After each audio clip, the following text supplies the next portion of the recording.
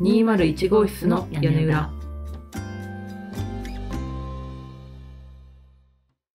201号室の屋根裏とは、二人で暮らす女女同性カップルが、ゆるい会話をだらーっと垂れ流している場所です。もしよければお付き合いいただけたら嬉しいです。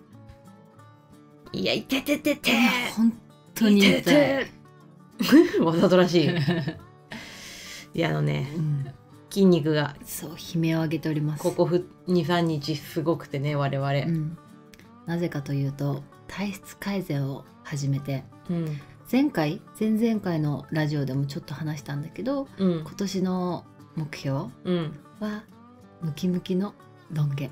あれ？マッチョのロン毛だっけ？ロン毛のムキムキ。ロン毛のムキムキ。うん。ということで、うん。本当にね食事管理とうん。筋トレだったりストレッチを始めていてちょうど今10日目ぐらいかな。そうだね。うん。なんかちゃんとスイッチ入ったね。入った。もうゴリッゴリに入って、うん。ね、栄養も制限というよりはしっかりと管理しつつ、うん。ね、バランスよく食べてて、うん。見た目もねお互い変わってきたし。そんな変わってきたかなえ？まだまだまあまあ私結構変わっまあまあできたくない？うんうんうんちょっとちょっと言い過ぎたんじゃない？言い過ぎちゃった？そっか。まあちょっと変わってきたけど。うんちょっと変わってきて、うん。筋トレももうちょっと頑張ろうってうんいう気持ちになってきてね、うん、今ね食事はちゃんとこう PFC バランスとかをうん計測してやってるけど、うん。筋トレはまだジムとかにには行ってなくて、うん家でダンベルとか。ダンベルね。そう,、ダンベルとか、毎回ねダンベル。あのダンベダンベル？ダンベル？うん。ダンベルって言っちゃうんだよね。あと綾瀬はるか。綾瀬はるかって言っちゃうんだよね。綾瀬はるか。綾瀬はるかとダンベルそが苦手。あとサシスソそう。あと You- YouTube でさ筋肉のとかああやのやつとか、うん。あと最近あのエクササイズチューブっていうの、うん。でもチューブじゃないな。あのゴムのう、うん。あの負荷をかけられるトレーニング器具があるんですけど、うん。それを買って、うんお家でちょっと部位ごとにメニューを考えて、休息日も設けつつやってるね。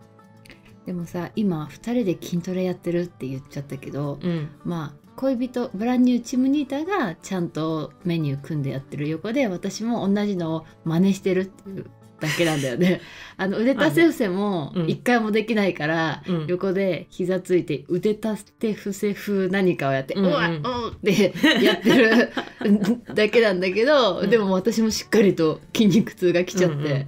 やらないよりは、ダンベルダンベルとかもさ、うん、持たなくてもさ最初いいとかって言うじゃん。そね。の動きだけとか、うんうんうん。あとそのペペットボトルとかでさ、やったらさでも何もしないよりは全然違うよねうん2人でせっせせっせとうんやってるね。うん、今んとこねまだこう食事も楽しくうんすごい、ね、できてるから、こう無理してる感じないよね。うんないないない、うん。お酒も先週土曜日ねちょっとお出かけして飲んだけど、うん飲んでない。うんね、ビール大好きなビールの糖質が恐ろしくてうん。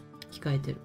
まあでもあんまり我慢しすぎないようにね、うん、そうだね。ストレスは良くないからね、うん。楽しく続けていきたいね。そうだね。まあせっかくねね。スイッチ入ったから、うん。とか言ってねもう 2, 2ヶ月後ぐらいにはもううなかったことになってたらね、うん。まあね。でも続けたいねせっかくだから。せっかくだから。うん。うん。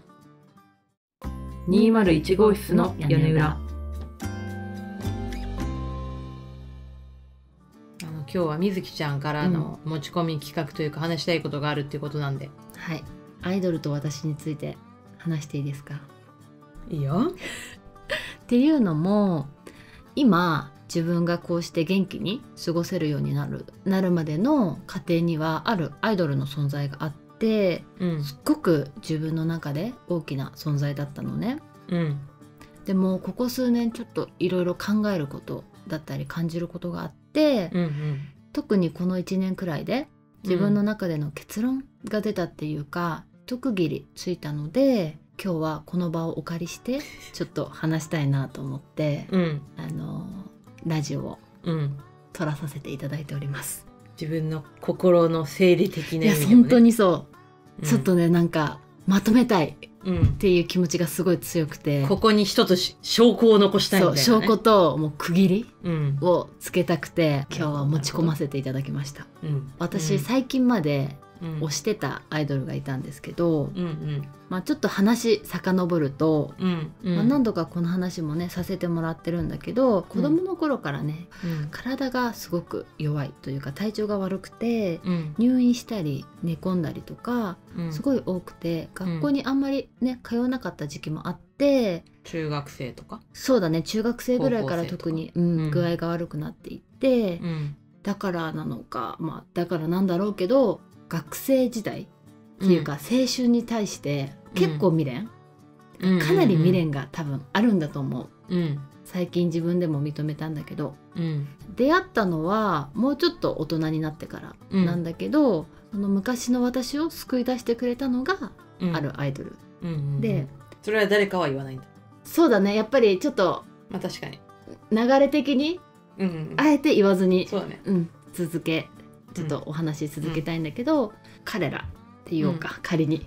彼らがグループになる前から、まあそのくくりとしてかれこれ10年ぐらいうん。応援をさせてもらってて何がそのきっかけでその人たちを知ったの？そうだね。きっかけはうん。すごいそのメンバーの一人を好きなお友達がいたんだよね。うん。で、うん。いろいろ布教をやっぱりされててうん。でそのあるその子が応援してた子とは違う子なんだけど、うん。めちゃくちゃうちの弟に似ててさ。同じグループの違うメンバーが弟にしたってこと？そう。その時はまだメンバーではなかったんだけど、一緒にうん。やってて、で私さ知ってると思うけどめちゃくちゃブラコンじゃん弟が大好きなのよ。うん。でもその時弟がスイスの大学に留学しててうん。なかなか会えなかったっていうのもあって、うん。なんかやけに気になっちゃって。最初のきっかけはねおなんか似てんじゃん。うんうん。でさ顔とか似てるとさ、うん。やっぱ骨格とかも似てるのが喋り方とか声とかも似てたりするじゃん、うん。で一番最初のきっかけはそこ。うん。なんだけどうん。やっぱりいろいろと活動とかを見ていくうちに、うん。なんて言うんだろうもう青春なのよ。彼らはもう。んうんう,、その時彼らはまだ高校生ぐらい、うん。それこそもう私が寝込んでた時とか。寝込んでた時代。うん。こんな青春を送りたかった。うんっていうのを追体験させてくれる。何かに向かって努力したりとかうん。友達っていうかメンバーと切磋琢磨しながら成長していくみたいな、そういう姿を見て、こんな青春送りたかったなみたいな、うんうん追体験うんをさせてくれてうん。うんなんて言うんだろうな。自分もさも彼らのメンバーかのような、うん。友達かのようなうん。太刀打ちもうめちゃくちゃ謎目線なんだけど そこに立つことで不完全だったうん。私の青春がうん。もう成仏されていくような気がしててさ。うんうん彼らを応援することでうん。なんか苦しかった気持ちとか、うんうん悔しかった気持ちとか、うん。なんかそういうのがちょっとずつちょっとずつうん。消化することができたんだよね。あの頃の自分を救い出してくれるみたいな感じがしてた。うんでさ私以外にもさ例えばもう辛い時うん。元気がない時うん。にアイドルに助けられた人ってやっぱ多いと思うんだよね。いや多いでしょ。ね辛い時にさ、笑顔になったり頑張ってる姿になんか勇気もらったりさ明日からも頑張ろうみたいなうん。ね思えたりしてるそれはできるのはアイドルの仕事だからね。だってアイドル好きだったでしょ、好きだった。うん、うん。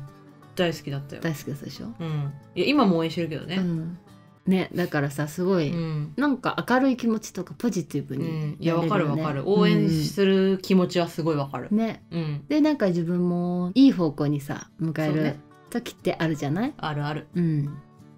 うん。でもそれが最近少し変わったってこと？いやそうなんだよね。気づいたらなんて言うんだろう。彼らの向いている行きたい方向うん。っていうのかな。あとうん。価値観うん。だったりが、ちょっと随分自分とは変わってきたなっていうのを感じじ始めて、ここ数年。そう本当お前誰やねんって感じなんだけどさ。ね。でもまあ価値観とかさ目指す場所が違うのってどっちが正しいとか悪いとかではないっていうのはもちろん。分かってるんだけど、うん。でもやっぱり例えばさ、うん。ラジオとか YouTube とかより彼らの素が見える部分とかの、はいはいはい。そう何気ない一言にやっぱりモヤモヤしてしまったりとか、うん。まあ、そんな違和感っていうか価値観のズレを、まあ、感じながらもう結構感じてたんだよね。でも、存在が大きくなりすぎてうん。気づかないふりを正直してたと思うの。うんうんうん、でもどんどんどんどん応援するのが辛くなっていってうんうん。で去年ぐらいかな。うん。ちょっと距離を置いてみよううん。やっと思えたんだよね。具体的にどういうことになんかモヤモヤするようになったの？例えばちょっといじり、はいはいはいはいを容姿のいじりだったりとかさ、はい。なんかあるじゃない？あるね。とやっぱりまあそういう世界だからって思いたくはないけど、うん。やっぱりバラエティとかでもさ、うん。なんかドッキリとかうん。あそんな悲しいことしないでとかはいはい。セクハラだったりさ人権意識とか、なんていうのジェンダーの意識とか、うんなんかそういう部分のちょっと低さって言ったらね正しい表現なのかわからないけど、うん。そういうのにもなんかちょっとゾッとするようなさ、うん。場面とかもあったりとか。なんかまあテレビとかはねうん。多分彼らのだけのあれじゃなくて、ね。本当にうん。まあやらされてるっていう部分うもん。あるから、なんかでもそこやっぱファンとしてはねそういうの見たくないっていう気持ちもあるし、ねうん。あとやっぱラジオとかってねすごいさテレビとは違う、うん。ね一面が見れたり、うん。でもそれが面白さだったりもするじゃん。そうね。それで面白いところもあるけど、それでちょっとだからこそぼ出るんだよねそうで暴走しちゃってあそこはみたいな、うんうん。そういう感じなのかみたいなの、はいはいはい。ねそうそういうのあがちょっとずつちょっとずつやっぱりうん。感じてたけどでも気づかないようにしてたからこそ多分一気に溢れたのかな、気づきたくないよね。うん、気づきたくない。でも気づいてたんだろうね。ででも、蓋をしてたんだなみたいな。うんうんうん。でそうそうそう。なんかやっぱり応援するの辛くなってっちゃって、うん。去年ぐらいから。うん。やっともうこれは距離を置いた方が自分のためにも。純粋な気持ちでもう応援できなくなっちゃったのね。それこそ好きだなってさ。うん。じ勝手に自分の居場所のようにうん感じていたから、うんうん、そのむ違和感を無視できなくなっていったのは、うんまあ結構きつかったよね。ううん。んでも逆にそこになんだろう。いやは第三者的に見てても気になるの、うん。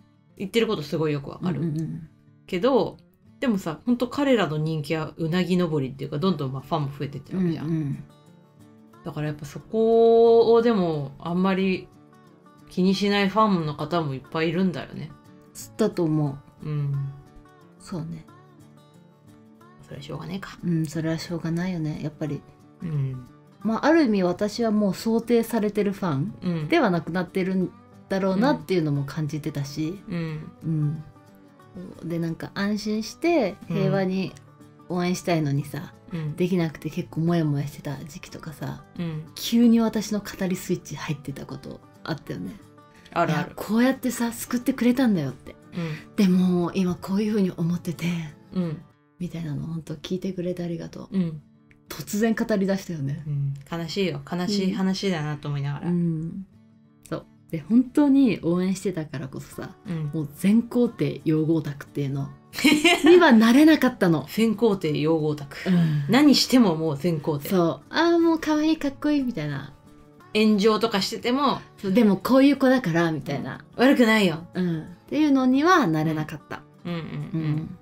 うん。そう何より今の彼らと自分を重ねることができなくなっちゃってたのかなっていうのが、うん。うんとはいえさうん。10年もうめちゃくちゃ結構応援してたじゃない、してたねうん、だから習慣っていうかさうん。癖っていうか、うん。そのちょっと応援するのを距離置いてみよううん。ってなった時にさ、ぽっかり心に穴が開いたじゃないけどいやそうだよ。喪失感っていうのかな？なんかもう最初すごい不思議である意味なんか自分の今まで自分自身を否定してるような気持ちになる時もあるしさ、うん。本当何様だよなんだけど。そう。ねえ何より推しと一緒にうん。新しい景色見れなくなっちゃったんだなーっていうのはすごい。いややっぱりいや違う景色を見てるじゃないか。そうね。うん。でも結構好きだったんだよねどんどんいろんなことに挑戦してさ努力してる姿が、うん。でもまあまあまあよく聞くさうん。長年一緒に付き合ってた恋人うん。もう別れたいんだけど、うん。もう情が生まれて、うん。なんかなかなか別れられないみたいなはいはい。話を聞くじゃない、うん。こういう感じかって思った。もう初めての感覚っていうか、スパッとはいけないよ、ね、いけなかった。全然いけなかった。だってあの我が家のテレビの録画用のえハードディスク、うん。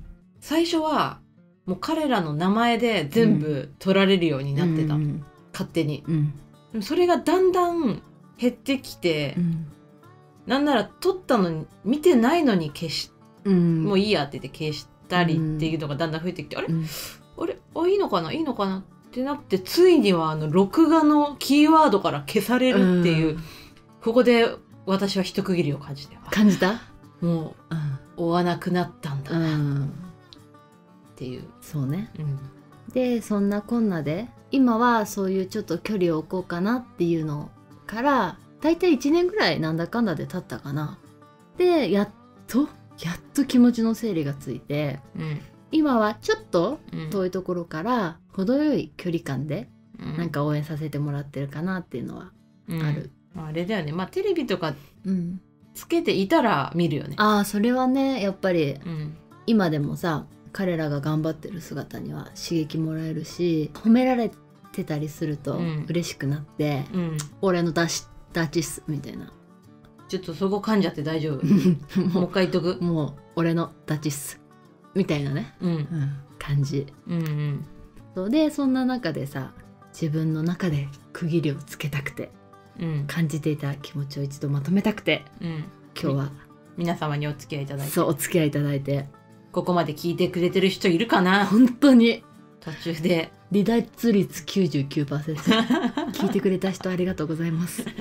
でもすごいグダグダ話してて思ったけどいろいろ感じて考えられるようになった。うん。っていうのはやっぱりね、うん。自分自身も成長してるからかもしれないしうん。その変化自体も嬉しく思うしさ。多分その前よりもさうん。体調良くなってうん。できることも増えてきてるじゃない？うんだからこそさうん。こういうふうに思えるように。うんうん前みたいにずっとさ何ヶ月も寝込んでたらさ、うん。もうその世界が全てうん。だったかもしれないし、うん。だからそういう、唯一のうん。みたいなね。うん、いいタイミング？自分の、うん、やっとさ昔の自分の未練っていうのかな、うん。一種の呪縛から、うん。